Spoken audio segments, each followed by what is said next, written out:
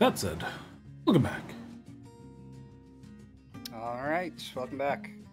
Freeze our bollocks Um, off.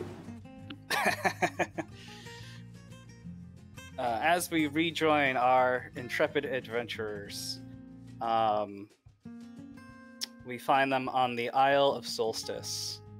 Uh, after having encountered a uh, harrowing battle between yourselves and your old friend Sephek Kaltro, um, uh, you you guys you guys managed to best essentially the remaining members of the Circle of Frost who were uh, guarding um, the vault of Solstice or of Grimskull specifically. Um, but while you guys were fighting the Circle, uh, one of them had clasped their amulet and had summoned Auril themselves, um, and she had sort of formed from an icicle hanging above you. Um, and having to fight through like a constant blizzard, you guys managed to uh, chip the base of the icicle enough to sort of cause it to crash down, um, and did battle with her there uh, on the ice. Uh, fortunately, um, you guys rolled very well, um, and managed to thwart this icy avatar of the winter goddess. Um, but not before she let out a uh, horrific wail that sort of sent the rest of Grimskull uh, cracking and crushing at its foundations. Um, with barely any moments to spare, you rushed into the vault where you found uh, Father Limmick, uh, this character that you've heard of through Aurilites and other interactions. Um, he he, he resembled very much sort of like a um, a, a helmed knight. Um, you ne- you didn't get a look at his face, but he had sort of a, a cold rasp to him that sort of like created uh, an icy fog through the slits of his helmet. Um, they seemed to be standing before a an icy podium where uh, his hand had been scribbling to some parchment. Um, uh, you guys had made your demand for the Codicil of the White, and he just gave it up, um, saying that uh, the work that he had come here to do has been done. And you can take the Codicil, but it won't stop the winter. Um, but take, taking the book and sort of leaving him to stand there as Grimskull collapses around you um, you hastily made your way to the entrance, avoiding uh, falling obstacles and debris, um, only to just sort of push out all at once uh, into the icy blizzard of solstice. Um, you know, in the last few moments, you were able to look behind you after having gathered some distance and see the um, icy skull of Grimskull, this old giant fortress sort of cave in on itself, um, sort of exploding into this icy plume that sort of now begins to descend down the mountain.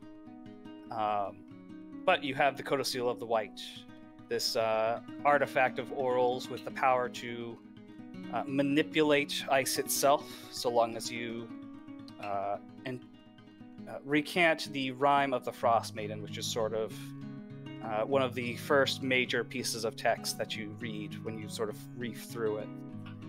Um, you need the Codicil of the White to uh, enter into the Reghed Glacier, where um, uh, your fellow uh, ghost has informed you is where Ythryn is most likely buried.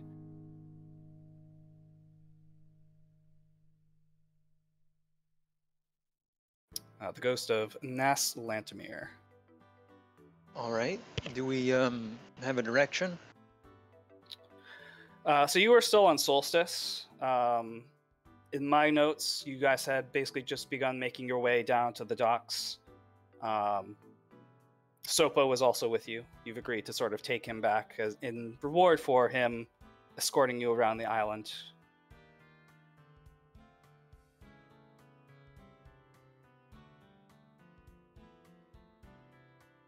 Um, so it's it's really more of a question if there's anything you'd like to accomplish here on Solstice before you head to the pier and summon Angajuk. I don't think we have any remaining plans here, so. No, the fortress has collapsed. There weren't any other points of interest that at least I'm remembering.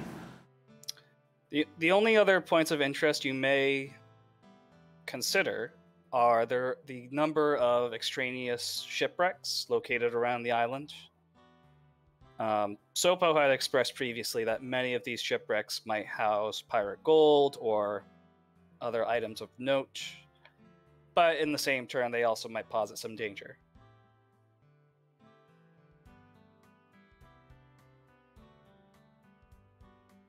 Um, I think it would behoove us to return and get away from this place while we can.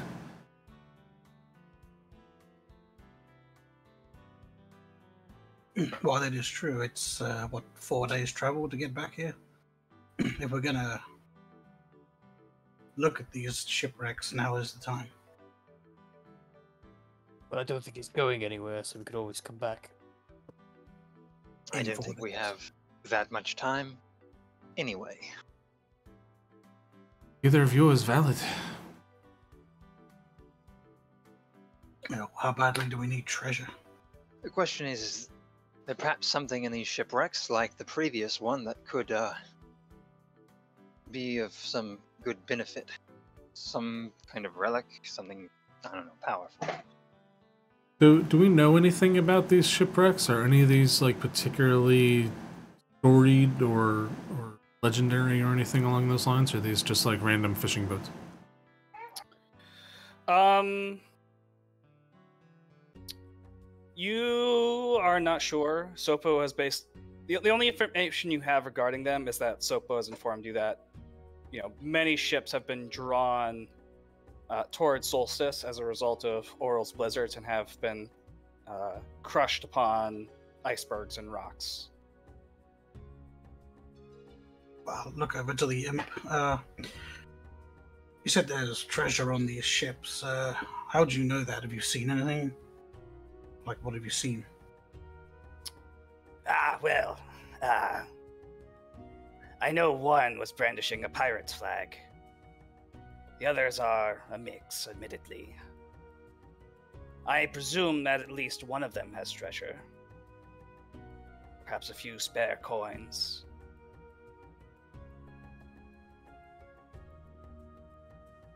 Impossible to tell if it's worthwhile. Yeah, it could be, but we could always come back. I don't think they're going anywhere. Lest we have a way to quickly scout them out. Maybe from above. Well, Zudis has his owl thing. Yes, uh, we could s- we could send her out to scout, I suppose. There's gonna be no harm. Why don't we do that while we head back? I just feel like we probably won't end up coming back here if we leave now. That Barracuda is probably for the best. There might be a nice bow on one of these ships. Or an eye. I wasn't going to say it. It's true, we need some time to study the tome. Do that just as easily traveling as well as sitting on a boat. Plus, I think a bit of rest after our encounter in this fortress would be most needed. Uh, I am just only concerned about uh, timing. So far, we've been trying to beat the Aurilites to everything that we've encountered so far. I don't want to give them opportunity to get ahead of us, regardless of what they're aiming for. Uh, Well, why don't you get your owl to scout those thingies? If he sees anything of interest, then we can investigate it. But for now, we should really head back. Certainly, certainly. Well, so the snap of his fingers, he summons Gabriel. and uh, instructs the owl to fly the uh, outer edge of the uh, island, iceberg, or whatever this is, Okay. to point out any wrecks, structures, enemy encampments. I mean, anything of note other than just empty, snowy landscape. I'll probably take like a day in of itself just to fly around this place. Uh, sure. Um, well, so it's it's basically like half a mile of slowly trekking these uh, icy crags to make it back to the giant steps before the docks. So that's plenty of time for the owl to start making cursory swoops around the rest of the island. Um, in fact, you know, what, I'll I'll go ahead and just reveal the island itself. Ooh. Is it gonna be shaped like a skull? Oh no, it's a snowflake.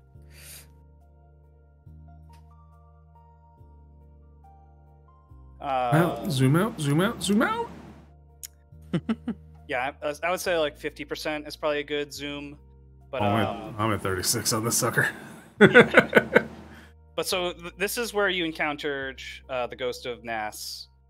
Um, uh, north here in this circle is where you encounter the uh, garden of creatures that had been frozen alive. Um, and then sort of around this perimeter is where you had seen the icy sculptures that were not frozen creatures. Um, but you can see at, at various points along the uh, spokes of the island are additional sort of shipping vessels.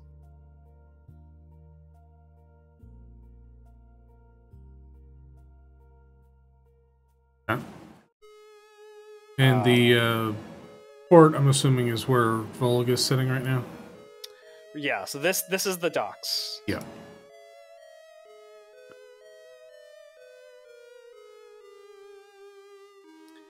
Um, so you could reasonably explore like these two ships before heading back, or or you know, any of them really, if you take a fancy. Uh, what do you got? Here, would argue with doing the ones that are at least close, but doesn't want to go out of their way to just get all the other ones. Yeah, and we can certainly get these two without too much fuss. The the water gap here isn't too terribly much of an obstacle for us. We can swim that with wa- uh, with water breathing. how much of the owl could actually explore the ship itself? Check for any uh, dragon roast, uh, roosting. that usually indicates uh, more more treasure. Do you want the dragon to be there? As long as it doesn't freeze us into icicles. Um, yeah, it's up to it's up to Sean. I wouldn't expect him to do much more than just a flyby, though. Um, how reasonably can you control the actions of the familiar? I can't. I can just uh, communicate to them telepathically over a mile, up to a mile. So it's basically Okay. just, you know, instructions. Gotcha. Um. Well, I mean, that, that- that would be within a mile. Um. Uh. just tell it to look for the shiny, shiny. I would, I would say, you know, probably at, at, at this stage in the adventure, that you probably have formed a pretty close bond with your familiar, and that it, it might be more willing to do actions beyond the scope of like a normal animal.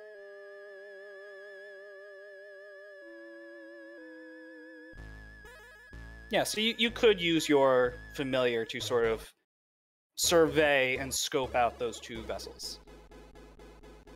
Okay, so let's let's say after you know, like I said, it's prob- I'm guessing it probably took a solid day just to survey the entire, not survey per se, but just a flyby of the whole place. Yeah, that would, that would probably take a, a decent bit of time. Like, you guys uh, had entered Grimskull in the morning, Uh, and by the time you make it back to the docks, it's probably gonna be like you know, peeking into afternoon. All right, so general overview, and then we'll rest for the evening, and in the morning she can scout the more specifics. Okay. Sounds pretty good. Um, and actually, that first day, just knowing that there's ships here, we could probably check these out while the owl is scouting one of the mo- other ships in more detail.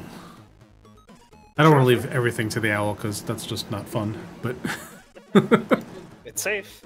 It's Uh, safe here. Um, I'll I'll I'll give you what the owl sees for the first two boats then. Um, the first boat, uh, the one that is closest, um, uh, each each of these vessels is, is no larger than like um like a sloop or a brigantine. Like the, the Dark Duchess, the the ship that you explored that had the dragon in is probably you know the, the largest vessel you've seen while you've been stuck here in the Icewind Dale. Um, all of these are much smaller than that. You know, maybe two floors most. Um, but as as the as Gabriel sort of flies in and sort of uh, starts to take you know cursory swoops around this first vessel, um, it, it certainly seems to have hailed from Luskan. There are tatters of a Luskan flag um, uh, hanging from the mast, uh, but many of the sails have been just, like ripped through our utter tatters. Like this, this vessel must have been here for quite some time. Um, but um, as as sort of the owl sort of uh, swoops in, um, uh, hands immediately sort of rise up and reach from from inside the brig. So you know, like how there's sort of that, that wooden lattice that a lot of ships have. Like a lot of hands just start reaching up and trying to pry at Gabriel. Um, a lot of like a lot of uh, moans and groans just issue out of the hidden deck. Uh, it definitely seems that there's like a multitude of creatures there in the first ship.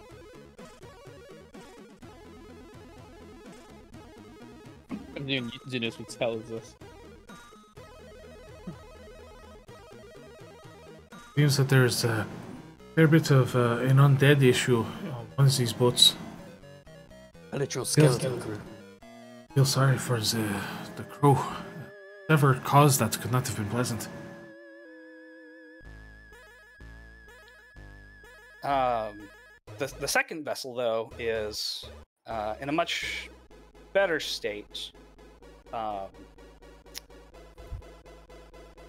the uh, the ship actually seems to brandish a uh, Neverwinter flag. Um, it's got you know uh, finely trimmed wood carvings upon its rails.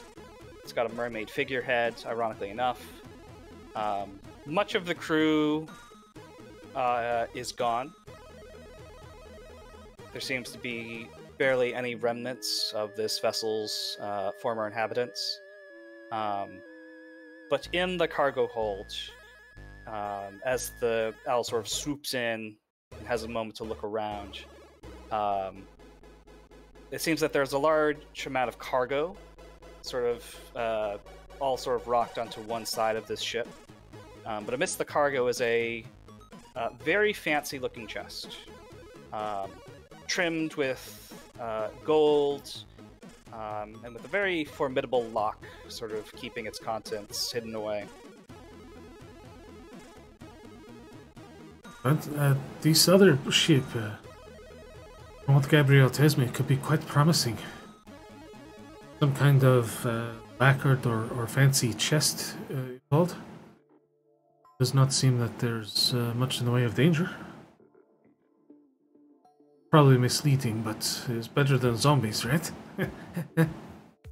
I suppose so. It seems like the safest bet. I suppose I don't have reason against checking it out. We fought Yeah. worse than zombies as well. Yeah, really, really, the only danger is that it's like 200 feet next to the other vessel. So they're like right, they're they're pretty close. wandering zombies. Zomboid moment. I was just Just- about to say. just uh, have to be careful. better take it on.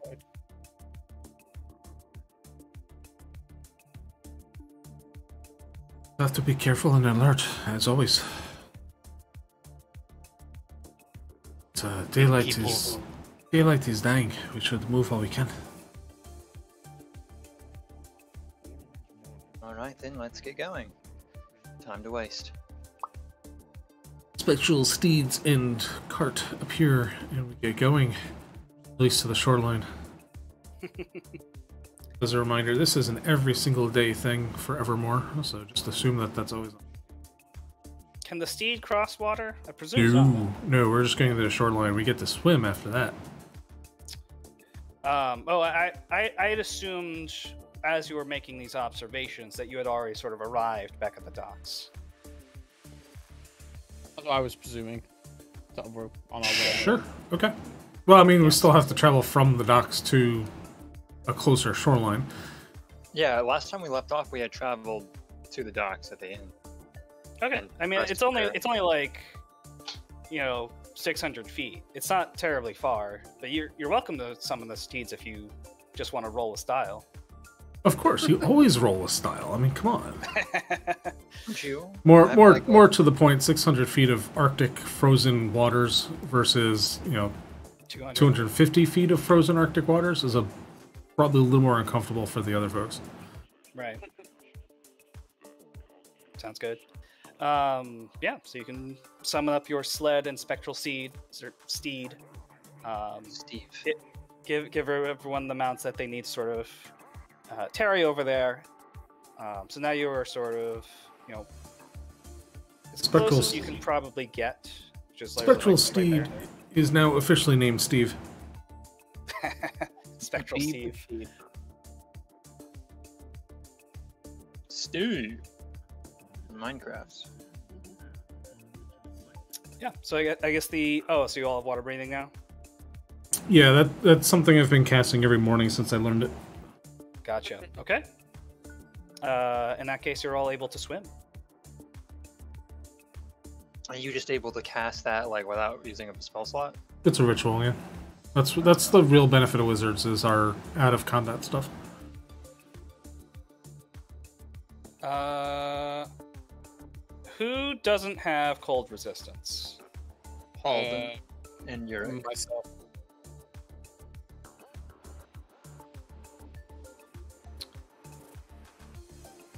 All right. Yeah, because you you're, you're going to be dipping into Yeah, freezing water. yeah. And, Um, and just roll that for the text just to see if that'll actually work.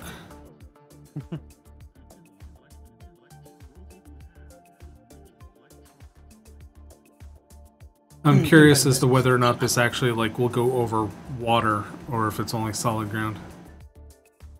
um Uneven terrain up and down stairs, slopes and the like, but it can't cross an elevated change of 10 feet or more. Can't do deep pits, but it doesn't say anything about water. I, I would that's imagine a floating disc would be able to go over water. Okay. So whoever whoever's a, a wimp and can't take a little bit of a chill, feel free to hop on. Yurik will hot on begrudgingly. It's a small little thing. It's only three feet wide, so you're you're sitting on a bar stool.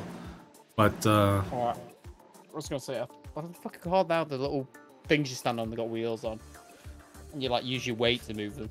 Segway. No, it's a sex without the sort of like handlebar. yeah, I know what you mean. I don't know what they're called, but they're they're weird and they have a tendency to blow up. Oh, is the, the, are those the hoverboards? You probably will. Something like that. Yeah. Yeah. Um. Yeah, it's those things. um, yeah, and we'll we'll just say that like you know Hal- Halden's just gonna probably stay behind. Um, he's gonna just you know have a solemn moment to himself.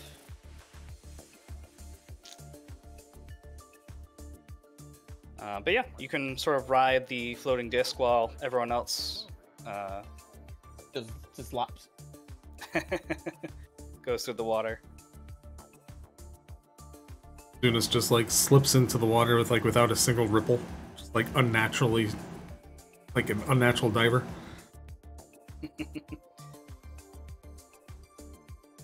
Um, so you'll bypass the extreme cold.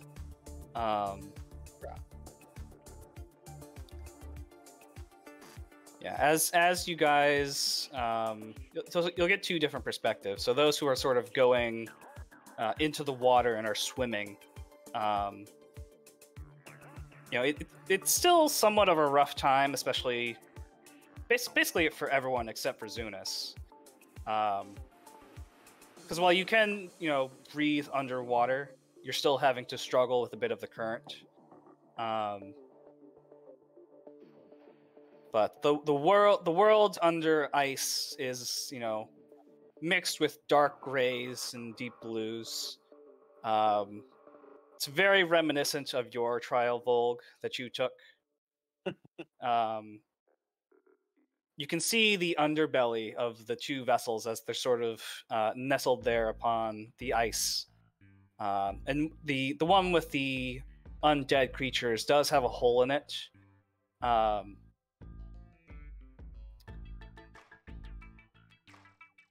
but it does not seem that the creatures have taken much notice because you're not really creating any sound underwater. So you're able to sort of you know, with a wide berth, most likely able to swim around that and come around to the other side, where, um, you know, you uh, you are, able to just sort of uh, float and uh, land on the top of the other vessel. So you make it to the second boat. That's good. Remember, uh, do not make too much noise. Try to stay out of sight if you can. Downwind or upwind, I don't know how that works on the surface, but don't want to get the zombies' attention. One of us per- should stay up top just to keep an eye out on things. Make sure uh, we have no surprises. Well, I'm not exactly stealthy. Yurik, you're probably better suited for looking out. Even with one eye. Uh, yes. Rest of us suppose I can see will. Uh, the- the zombie are getting closer. rest of us will head towards the uh, captain's quarters in the hold. See what there is to be found. Not just of material goods, but also like a logbook or something that speaks of the history of this ship.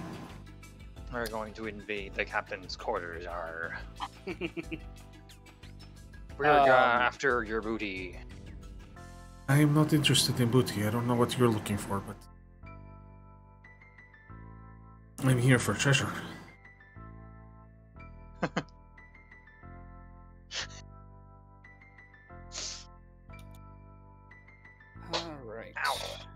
Um. Deserved it. So much, much of as you entered into the captain's quarters, um, much of it is frozen over. Um, there, there is a captain's log. Um, much of it has fallen to disrepair. For as you enter, there, the the back window has sort of been cracked through, um, and you can see here that much of much, much of the captain's quarters has sort of become damaged from the you know either constant tides of sea salt and ice uh, making its way in. Um, I mean, there there is an astrolabe that looks like it f- could fetch a, a pretty penny to any navigators. Um, apart from that, uh, there are sort of the remnants of what might have at one point been luxurious furs. Um, uh, using detect magic, um, the ornate chest in the cargo hold definitely gives off a powerful um, uh, radiant aura. within your sight. Not radiant magic, but you know, just, just yeah. the glow. Uh, uh, be careful. The chest is, uh, or either the chest or what's in it is uh, magical. It could be dangerous.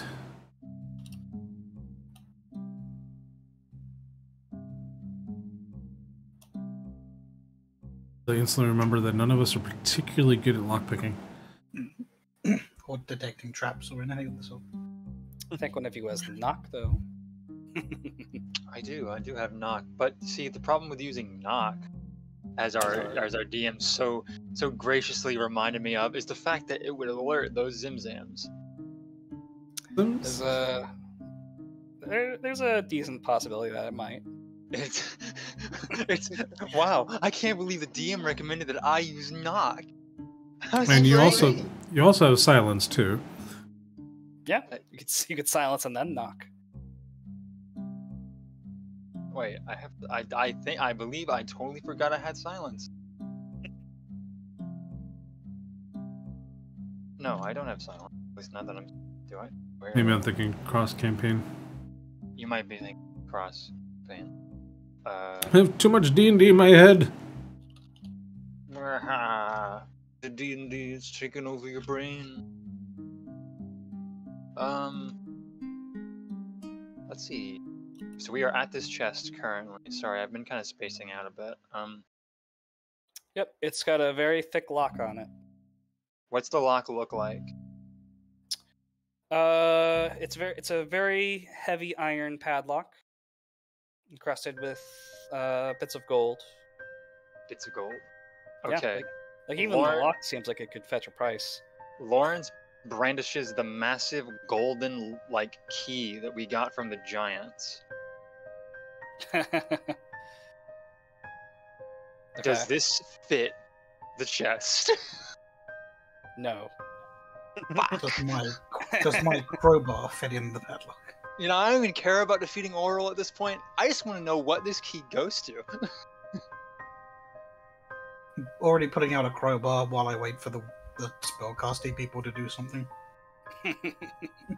okay, well, it's either this. We, uh, um, I have nothing that we can lockpick with. I don't have like thieves' tools, so we either use knock and fight the Zimzams, or you use your crowbar and beat the shit out of it. Knock. Pause. He's knock. We can we can deal with him. All right. Um, Zombies don't swim. knock, knock, knocking on heaven's Famous last words. door.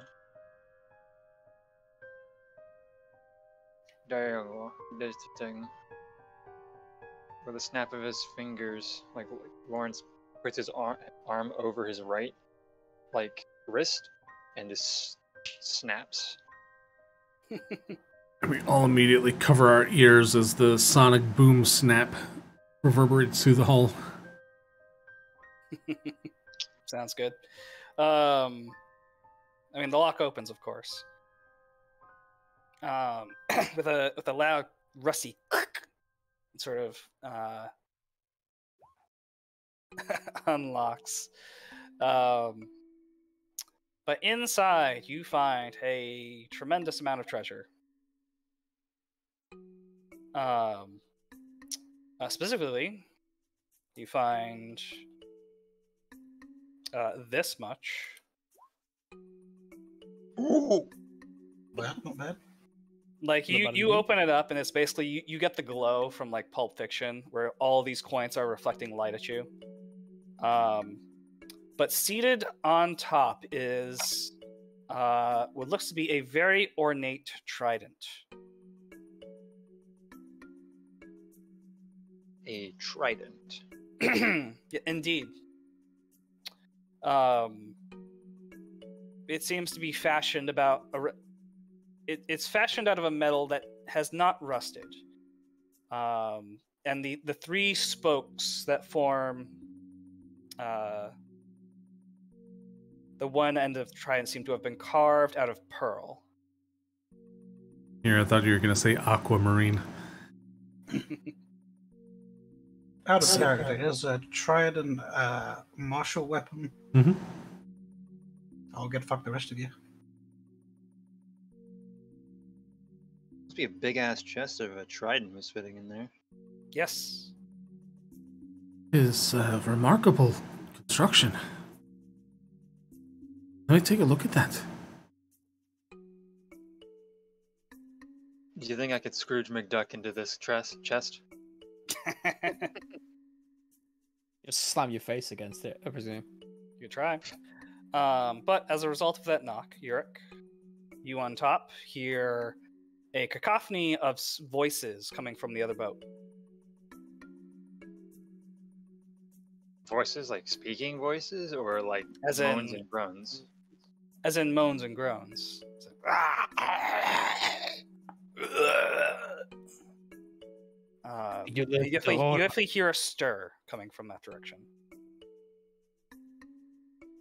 I think I'll just quickly retreat to the group, inform the horde has been alerted. So it's either fight or we get out of here.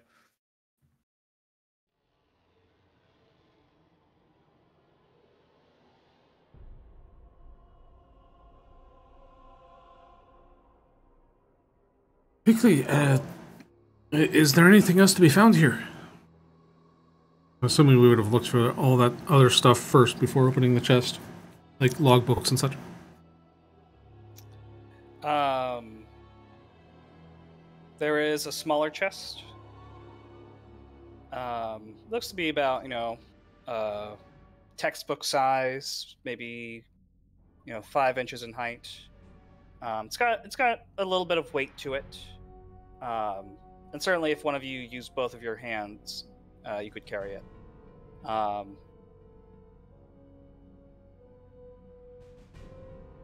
Alright, soon Zunus will grab the trident for now just to keep a hold of it. Also very thematic.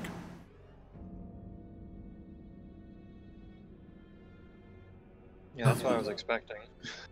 Uh, Vogue, uh, uh, uh, just take this for now. Sure. Just holds up both arms.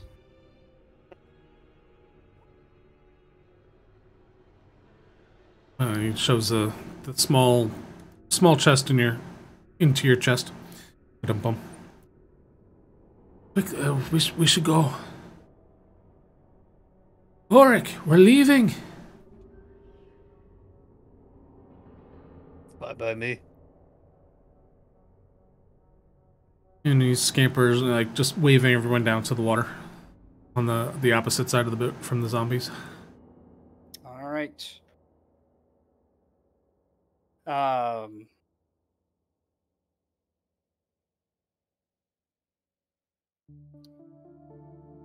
Uh, as as you uh, quickly jump into the water, um, and you get back onto the the floating disc.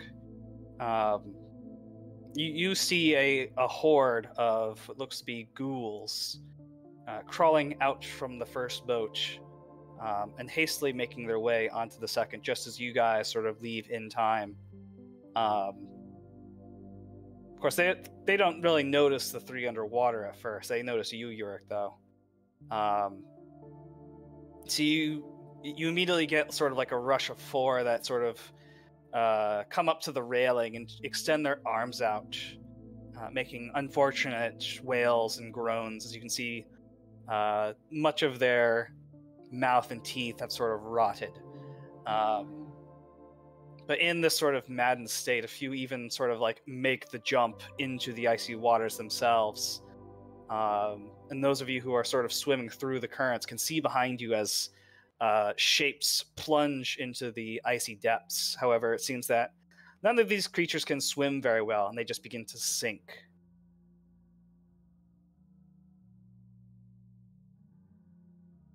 Um, Oh, how morbid. Uh, but fortunately for yourselves, you are able to uh, make it back to the shore, dripping in ice cold water. Um, such in a way that, like, as soon as you sort of uh, make it a few paces, you're already sort of uh, host to a number of icicles. Let's swim. I mentioned I hate swimming. Don't mind it in warmer climates. Is everyone okay? No one is uh, turning white or anything like that? I'm already. Lawrence looks at himself, his red skin. No fingers are turning blue, at least not yet. Ah, that is good then. Uh, we should head towards the dock. Uh, summon the tur- uh, was it turtle? Was it whale? Well, Uh, summons a, summons a whale, and we can examine the findings while we wait for it.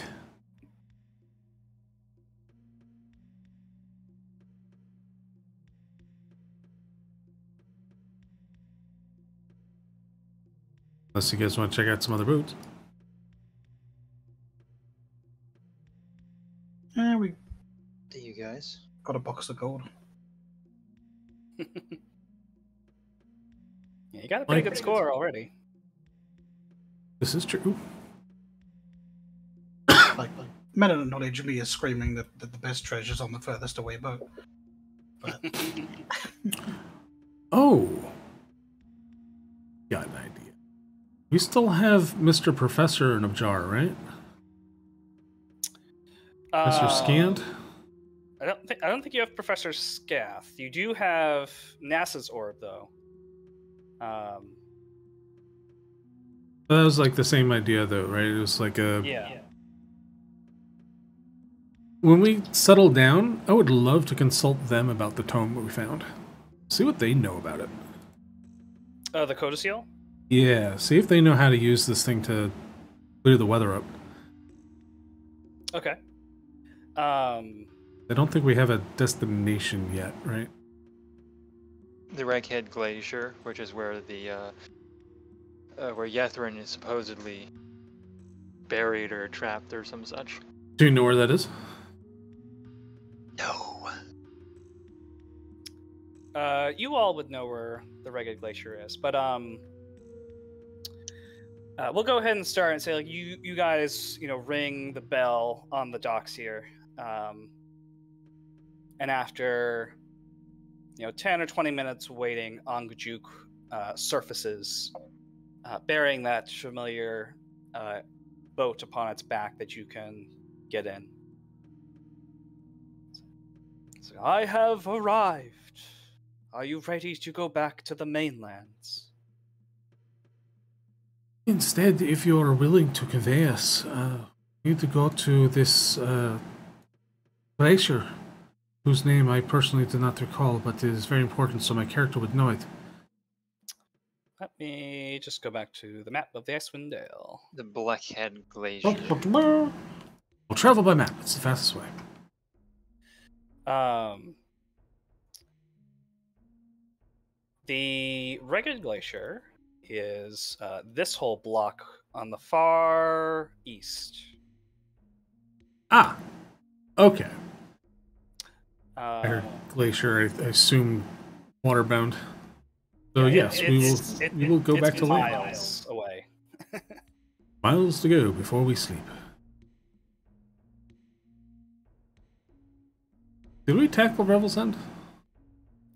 Uh, you have not gone to Revel's End yet. what's there? Uh, the the hook at the the hook at Revel's End was that there is a member of the Arcane Brotherhood there named Vaelish Gant who uh, might have been able to give you some information regarding Ythryn or uh, the Netherese.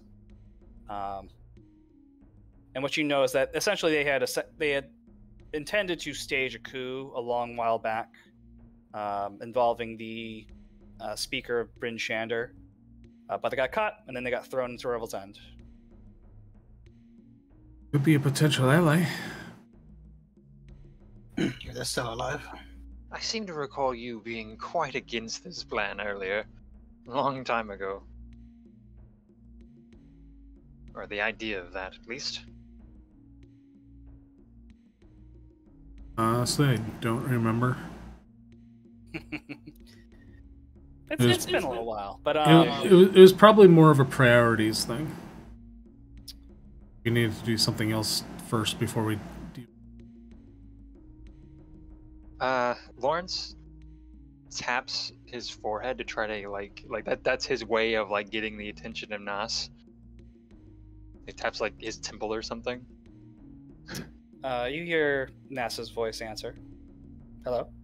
Uh, Nass, um, do you know anything about Vaelish Gant? I can't say that I've met him personally, um, but rumors did spread of his downfall around the Arcane Brotherhood. Was he well respected? Is he uh, perhaps um, amenable as far as people in the Arcane Brotherhood go? Easy to work with? Uh, from what I recall, or at least from what I overheard, he was a bit. He was a bit of an arrogant person. That seems Um, to be a common thing with wizards. Meh, aren't you smart? Um, but apart from that, he is very skilled in abjuration. Um,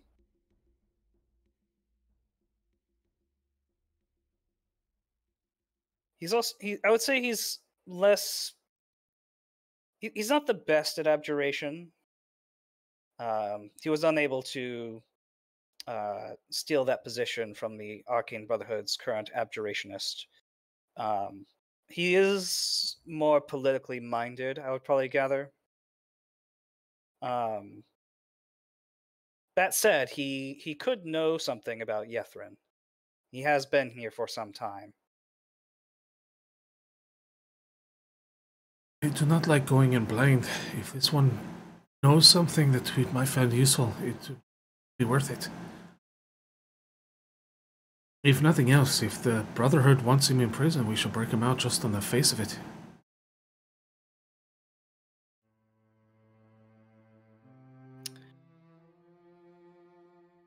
Nass would answer, I, the Arcane Brotherhood does not care for uh, those that have been upended. If, if anything, the Arcane Brotherhood wouldn't care one way or another if Vaelish Gant was released from his prison cell. Yes, but it's not about them. If the Aurilites don't like him, then we do. The enemy of my enemy is my friend, to some Exactly. extent.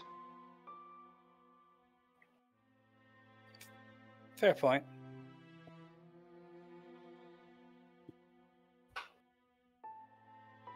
Have we? Either go to Revel's End, or we just go back to Landfall and uh, make our way across the Dale. Checking on the cities on the way.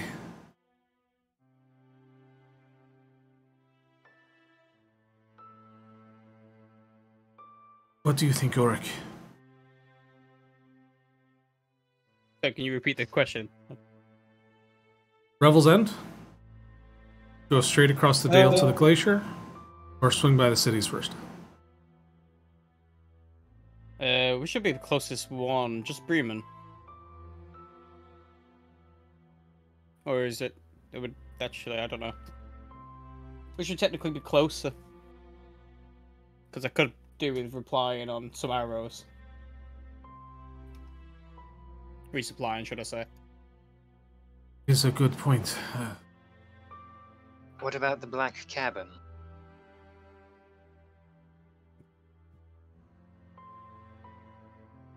really remember what? I think that was just like a small hunting lodge or something.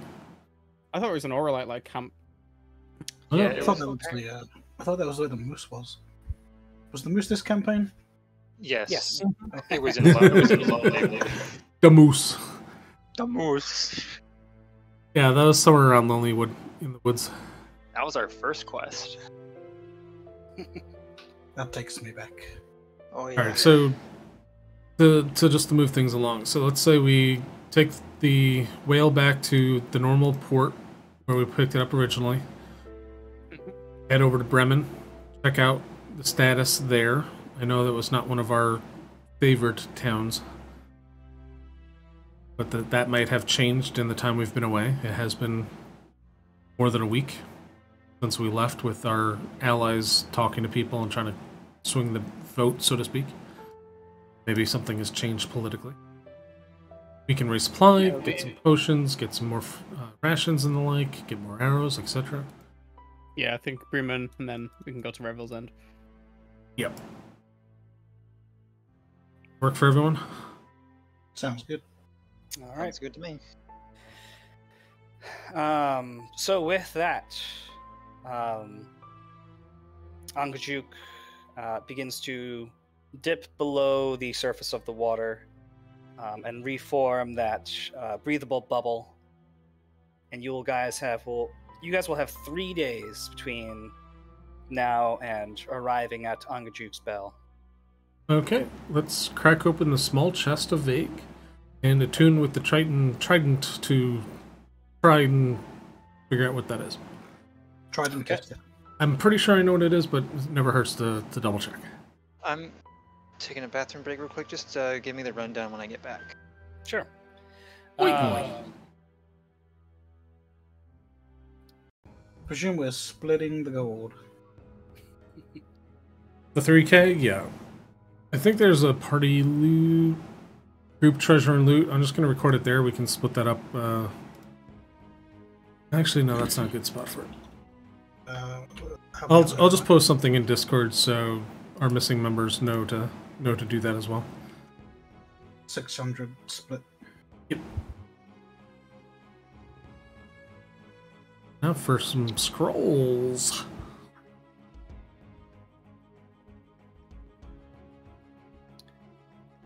Um, we'll start with the trident. Um, uh, first and foremost, this this trident seems somewhat aged. Um, well, it sports some ornateness. It is almost pragmatically simple. Um,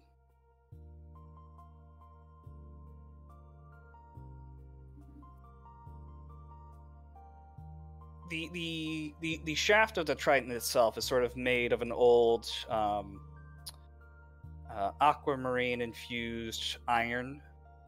Um, it seems to have been touched with properties that prevent it from rusting underneath, you know, in in the brine, so to speak. Mhm. Um, the well, first and foremost, it is a plus two Triton. Um, and given, I would say, what your character knows about it, um, this this seems to be an artifact that hails from the uh, twelfth Saras War. Um,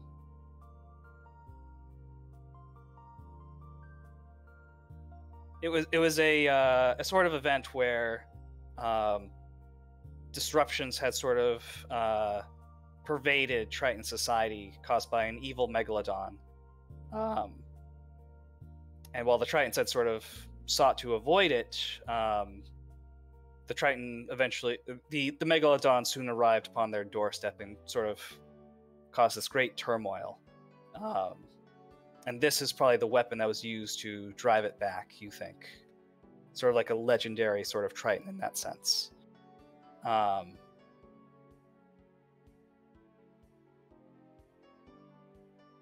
Any uh, special pri- properties or Um.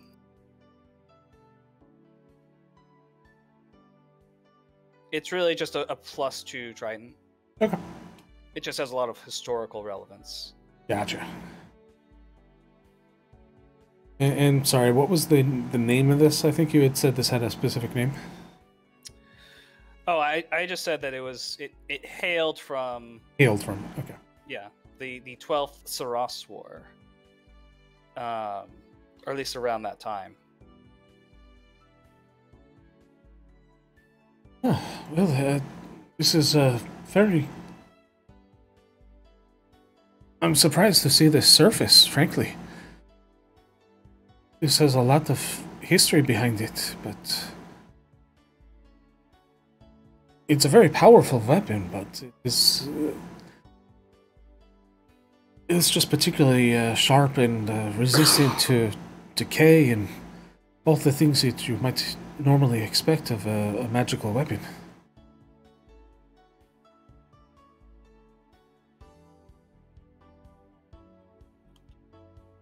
I, it is not in my bailiwick to, to use, however. If one of you would like to, uh, to take it up in arms. For reference, this martial trident is a melee weapon that also has a th- throwing range of 20 feet, a maximum range of 60. It happens to be a plus 2 trident for 1d6 plus 2 damage. Piercing. Oh, Have think uh, you would something hand of something of a fondness for throwing sticks at people. Have at it, uh, Um, as as you open the smaller chest, though, uh, you find a few things inside. Um, you find uh, two potions, a scroll, and a folded up cloak.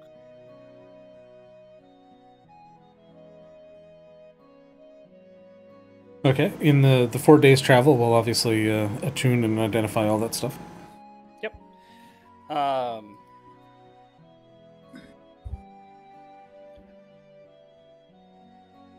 whatever happened to Nass's ferret? it's still with you. It's it's Oh. been following along. Um, just Like chilling in Lawrence's like scarf or coat or something. Sure. Wh- Wherever you think the ferret would be. Um, uh, the potion, however, the first one is a. Um, it's a concoction of the freehold. Um, it gives you resistance to necrotic damage, and it lasts for one day.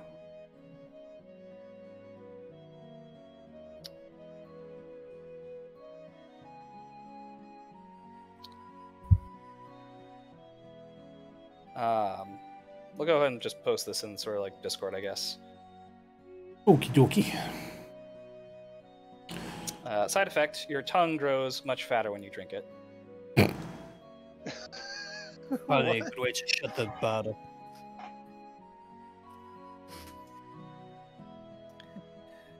Um,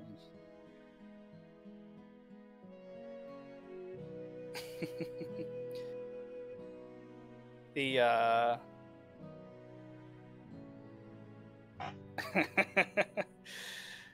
um, the other one is a spell riven tonic.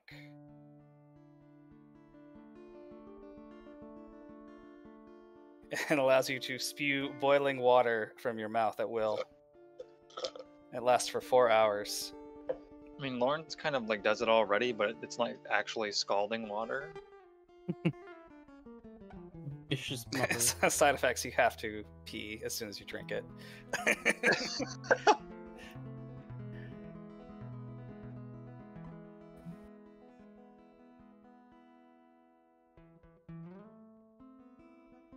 You know, this might have been like a really good potion to have used during that fight with Auril second form. um, the scroll is a spell of scorching ray. It's always a nice one. Yoink.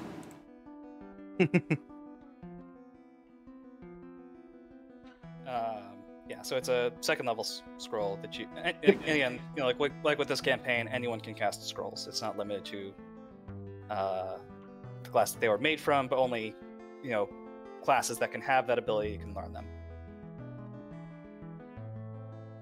Um, and then the cloak itself, um, it uh, it looks interesting. As as you sort of take the time to unfold it and look over its particular qualities, it's a it's a dark purple color and hue, um, embossed with uh, yellow golden trim, um, and you can see that on the back there is sort of like a uh, an open maw from which uh, little teeth just um, uh, flatly shift whenever the, the cloth is disturbed. Um,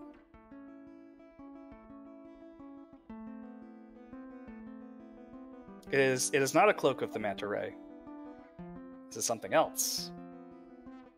Um, Tell us what it does. Look What at the Ray this Manta. Uh, it, it is something you do not attune to, but you can wear it freely. Um, this will probably require Arcana. mm, all right.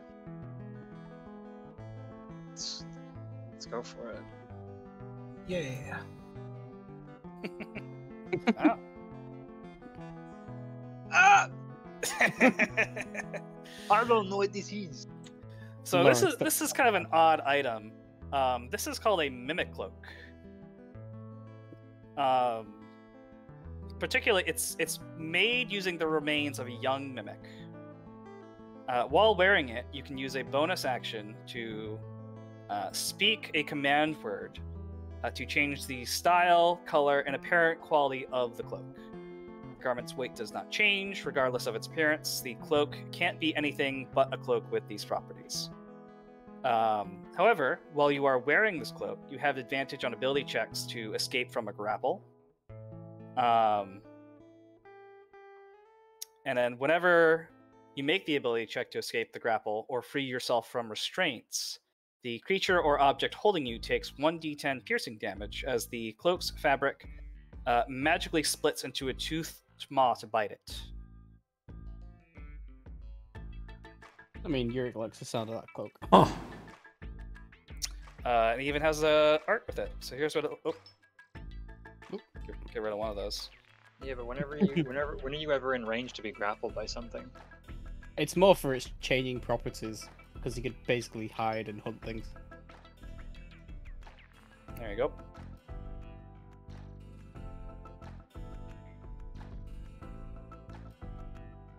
Amazing. You could make it look like snow or a tree of a bark, whatever.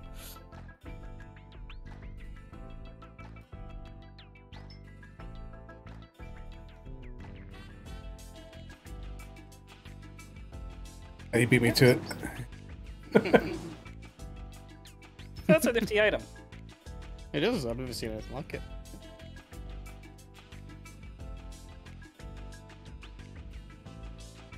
Sound that sounds very bardic, in my opinion.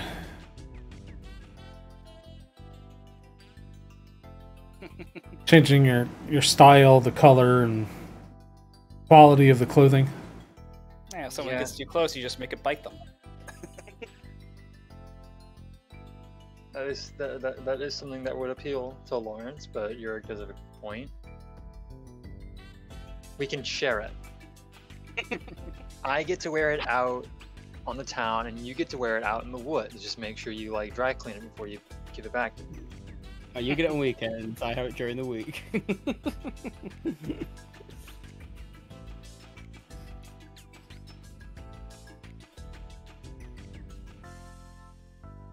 Uh, but that is all that you find in the small chest.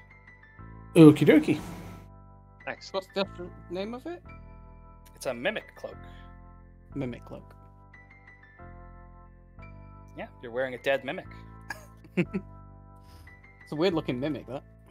I mean, he's used to wearing things that are dead, so Yeah, true. I'm gonna yank that.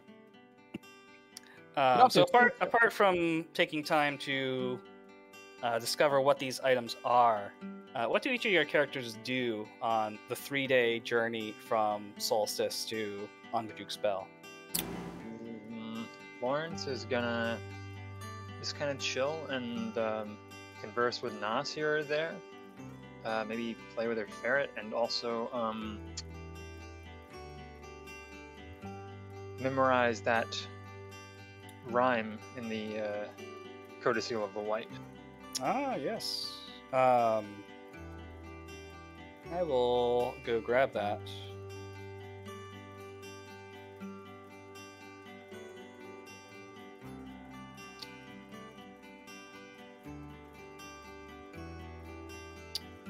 There Dunas you is easy. He's just studying the tome this entire time.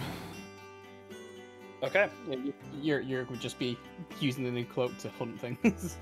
well, they're taking up We're- breaks. We're in a whale. You can't do that. Oh, I thought I thought we were. Three, This is three to four this is- days this on is what- whale. Yeah, this is what you're doing while you're on the whale, because it's gonna be three days.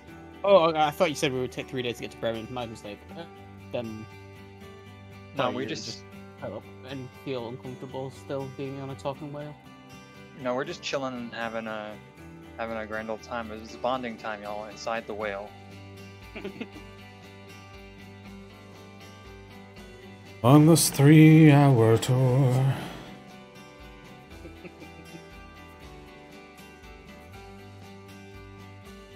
Lawrence begins to strum his his lute. Well, continue.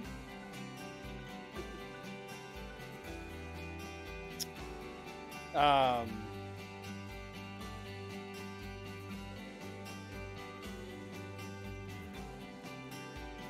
Sorry. Uh, talk, talking with Nass, you just get some like um. She'll she'll ad- admit some details, like how um, you know, she was sort of uh.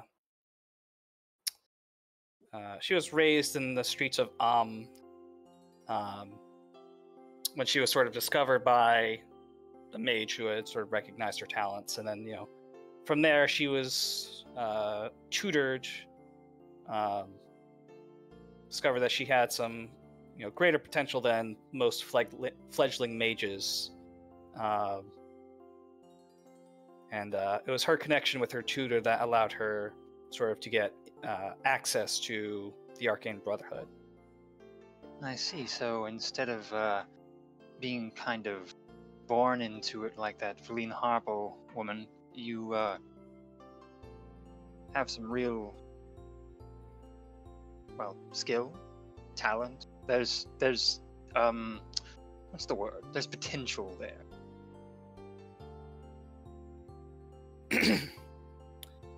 Yeah, she'll she'll sort of say like, yeah, I've you know I've, I've always sort of uh, lived in the shadows of Amn. If you if you know anything about it, it's you know uh, a city of great wealth and prosperity. But you know, ev- every city has the slums, and that's where I was.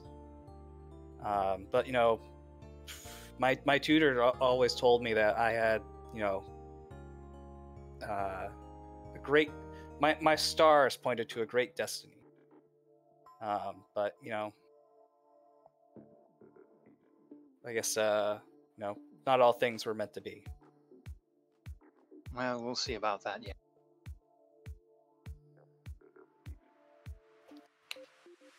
Lawrence is kind of like got himself resigned to, you know, hearing all this. He wants to do what he can to fix the problem of, uh, of her uh, being dead.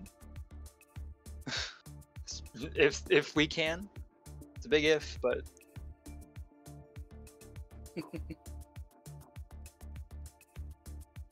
Um, what what does Volg do on this three day journey?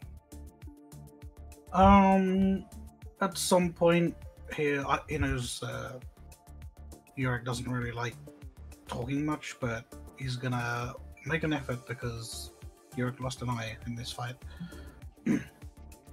uh, just kind of like put up a seat next to him at some point and be like, uh, "So, what's your, you know, what's the situation with family and stuff? Like, what's the story?" Well, I don't know my real parents. I was adopted, and well, the adopted parents died, so I moved up here and started hunting. Really, Mm, You remember much about him? Well, they're the ones who taught me to naturally hunt. So yes, quite a bit. So they were human. Yes. Hmm. Don't exactly get on with my own kind. I don't really have their culture in me. You know, you don't seem like a particularly social person, if you don't mind me saying. Never really wanted to be.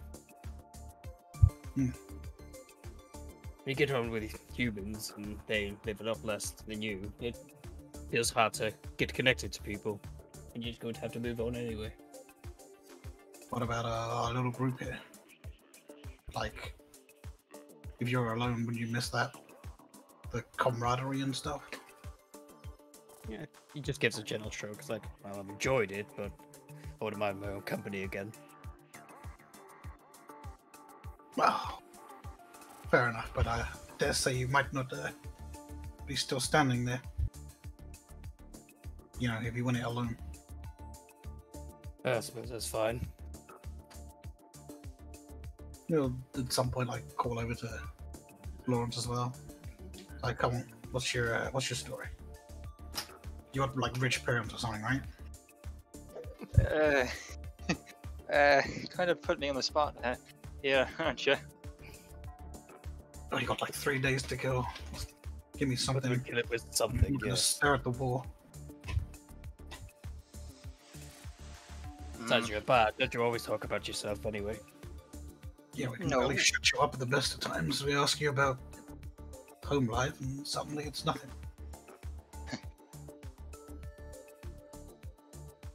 It's a bit of an awkward conversation.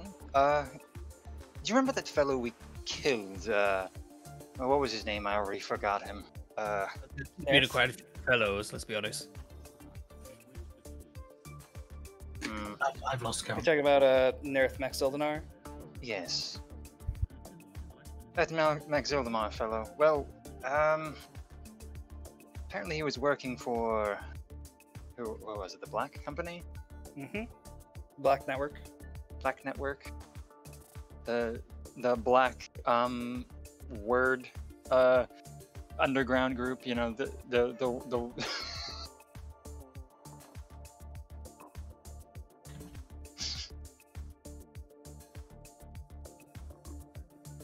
You can just call him Zhentarim as well. That too. Well, anyhow, uh, it would appear as if that, that Maxildanarr fellow had it out for me, uh, ever since I left home. Maybe not directly, but um, I do come from a rather important family back home. Uh, Are you we a- were act- Oh, go on. Are you a prince? Uh...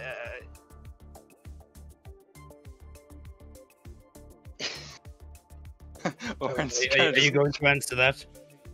Me not answering is really damning in itself. You guys are really putting me on the spot.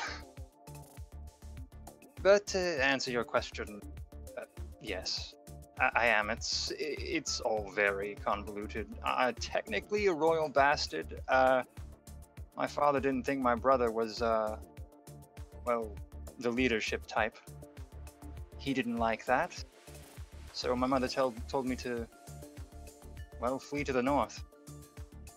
And apparently they found me here. I'm trying to cut, cut up loose ends or something. Yes, and apparently Like- I'm loose ends. Yes.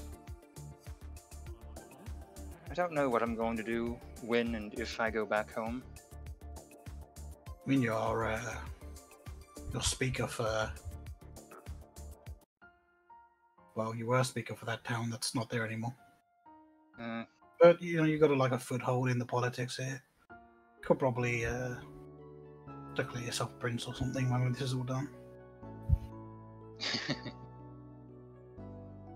yes, though I don't I don't know if a life of that sort of responsibility would fit me.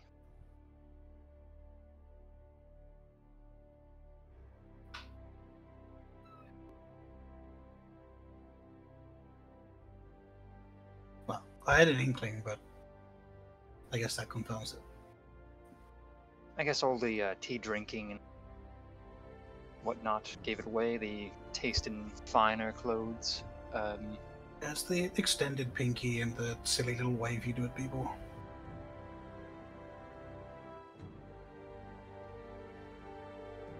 Lawrence just kind of huffs. I just thought he was pompous, to be honest. He is bad. We're not all pompous. We're flamboyant. We have to be showy, you know. They're literally like the same thing, aren't they? I kind. Well, I wouldn't say so. So I think pompous implies a bit of uh, arrogance or uh, snootiness.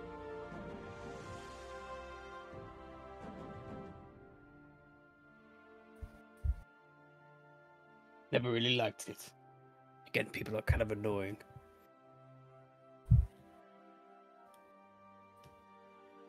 Well, Mm, I quite a- was. Oh, go on. Sorry. just say it's quite a mishmash of characters we've got here. Quite an ensemble. Well, I mean, I thought it was going to be a very quick job when I was sort of told to help. Now you're a be hon- hero of the entire area. It's a bit weird. To be honest with all of you, I was really just in it for the um, the muscle. What do you mean, Vogue specifically?